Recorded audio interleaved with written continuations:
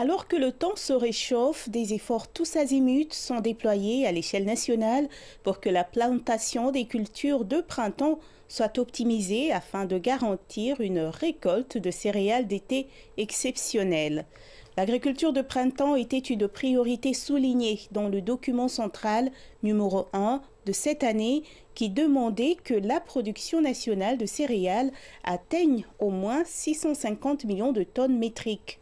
Jusqu'à présent, les zones de culture du blé d'hiver ont augmenté régulièrement, couvrant plus de 220 000 km, soit une augmentation par rapport à l'année précédente.